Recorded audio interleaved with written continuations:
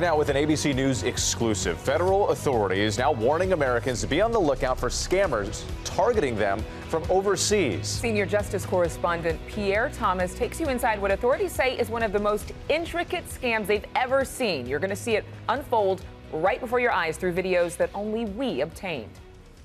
The product is real. You can actually see now. Here's 400 kgs of gold. That's the voice of a man we'll call Nick using his cell phone to capture his business trip to Africa. Like so many others, Nick fell for one of the most sophisticated and most convincing scams U.S. law enforcement has ever seen, allegedly made possible by the help of corrupt government officials in Liberia. It all started with this man, Cassell Quo, who was introduced to Nick several years ago. By all accounts, Quo was a Liberian success story, founder of one of Liberia's preeminent soccer teams, and a mine operator who claimed he had access to lots of gold. Nick, a businessman from Atlanta, was offered an opportunity to invest. But was it real? He emailed Quo, he researched Quo, and then he flew to Liberia. We're here in the office in, in, in uh, Liberia. Nick agreed to speak with us, but on the condition he not be identified. There's nothing like going and seeing a $100 million worth of gold. There's nothing like it. I guess some people say heaven. Poirot is now in a U.S. federal prison. He talked with ABC News exclusively, telling us the key to his scheme was that show he put on for Nick and so many others. What they see is unbelievable. The setup is very big. Those who traveled across oceans even got to test the gold, however they like. So they test all the gold. It's gold, it's pure gold, 96% purity.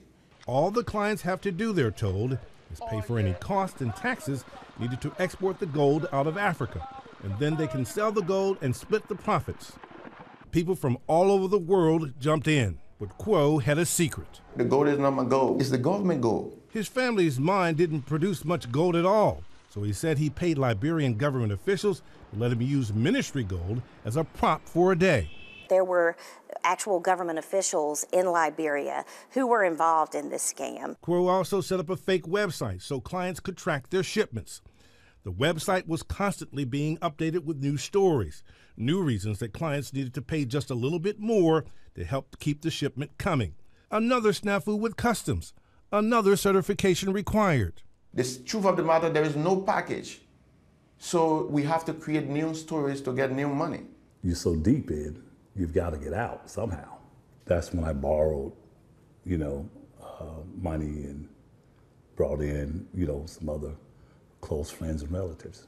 Nick ended up losing it all. Six, seven, maybe eight million dollars. And does it run the gamut of the kind of victims? Primarily professionals. These victims actually did their due diligence. It seemed so legitimate. Meanwhile, Quo became a rich man, traveling the world and living a life of luxury. But his whole charade ended nearly two years ago when federal authorities arrested him at the house he bought his family in North Carolina. No one else will be victimized by me. No one else. I'm so sorry. This man could cry on a drop of a dime for two or three days if you like. This is how this is how good Mr. Cassell is. Quo has since pleaded guilty to wire fraud conspiracy. His story is a cautious tale, and he told it to us, hoping for a reduced sentence. He ended up getting nearly seven years in prison in order to pay nearly $17 million in restitution. The Liberian embassy never responded to our request for comment. For Good Morning America, Pierre Thomas, ABC News, Washington. Oh, my heart breaks for those investors who think they're trying they're trying to build a future for their families. And they did the a research. legacy.